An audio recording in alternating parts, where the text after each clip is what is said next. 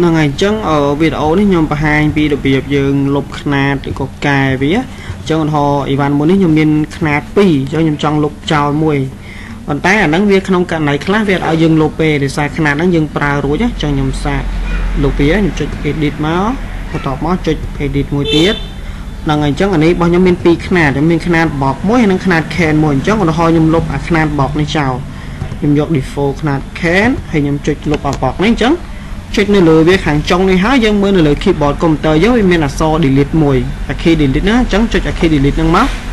នេះបើសិនជាវាចេញផ្ទាំងមកអញ្ចឹងបានន័យថាយើងអាចលុបຂະຫນាតហ្នឹងបានទេអញ្ចឹងខ្ញុំលុបអាខាងក្រោមវិញដូចគ្នាចុចមកខាងចុងហើយរកអក្សរ delete អូ key delete នៅលើកុំព្យូទ័ររបស់យើងចុច delete វាមកនេះអញ្ចឹងអានេះគឺវាទៅបាត់ហើយអញ្ចឹងមានຂະຫນាតខ្លះវាឲ្យយើងលុបຂະຫນាតខ្លះឲ្យយើងលុបទេដោយសារតែຂະຫນាតហ្នឹងគឺយើងបានប្រើប្រាស់វារួចហើយណា អញ្ចឹងគឺវាអត់ឲ្យយើងលុបចោលទេបានន័យថាយើងត្រូវប្រើវាប៉ុន្តែជាទូទៅគឺខ្នាត default នេះគឺយើងប្រើតែមួយមកបានហើយវាមាន3 4បណ្ដោយប៉ុន្តែយើងចុច tick យកតែមួយមកបានហើយអញ្ចឹងខ្ញុំ save វាមកអញ្ចឹងនេះអីវ៉ាន់នេះគឺនៅសល់តែមួយខ្នាតបងឯងអឺម្ដងទៀតដើម្បីលុបចូលមកកន្លែង edit